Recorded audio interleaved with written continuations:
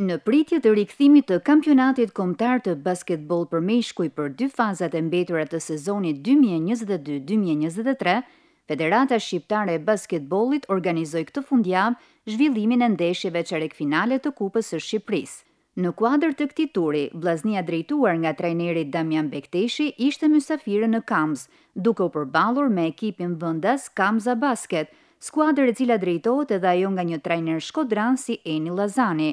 Ndonëse Kupa e Shqipërisë nuk është në objektivin e Vllaznisë, pasi gjithë përqendrimi do të jetë në kampionat, aty ku kuqeblutë do të bëjnë maksimumin për t'i shpëtuar rënies nga Superliga. Ballafaqimi në transfertën e Kamzës tregoi se skuadra është në rritje e sipër, Fakti që fati i ndeshjes është vendosur vetëm në dhjetë sekondat e fundit të ndeshjes duke nxjerrë fitues ekipin vendas të Kamzës me rezultatin nëntëdhjetë e një me tetëdhjetë e shtatë tregon se ndeshja ka qenë e barabartë deri në limitin e saj. Të kënaqur me prezantimin e skuadrës në këtë ndeshje janë shprehur edhe drejtuesit e Shoqatës së Basketbollit Vllaznia të cilat në postimin e bërë menjëherë pas ndeshjes në fazën zyrtare të tyre shkruajnë, Ekipi i basketbollit Vllaznia u përball sot kundër ekipit të Kamzës në ndeshjen çerekfinale të Kupës së Shqipërisë, e cila përfundoi me rezultatin nëntëdhjetë e një tetëdhjetë e shtatë për ekipin e Kamzës. Ekipi i Vllaznisë bëri një lojë të mirë në një ndeshje që u vendos në dhjetë sekondat e fundit të lojës, pavarësisht se objektivi i saj nuk është Kupa,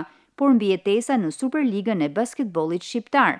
Lojtarët më të dalluar për ekipin tonë ishin Tavis Smith dhe Elian Memçaj, Në këtë takim nuk u aktivizua blerja e re Eric Cooper. Ekipi i Basketbollit Vllaznia i bën thirrje të gjithë tifozëve të jenë të pranishëm në ndeshjen e parë të fazës së tretë në Pallatin e Sportit Qazim Dervishi kundër rivalit kryesor ekipit të Apolonisë së Fierit në muajin shkurt. Pas ndeshjes, Kamza Basket Vllaznia e përfunduar me rezultatin nëntëdhjetë e një, tetëdhjetë e shtatë për çerekfinalen e Kupës së Shqipërisë, u luajtën edhe tre duele të tjera, të cilët u mbyllën me këto rezultate, Tirana Apolonia tetëdhjetë e tetë tetëdhjetë, Teuta Partizani nëntëdhjetë e nëntë shtatëdhjetë e pesë, Besëlidhja Flamurtari nëntëdhjetë shtatëdhjetë e tetë.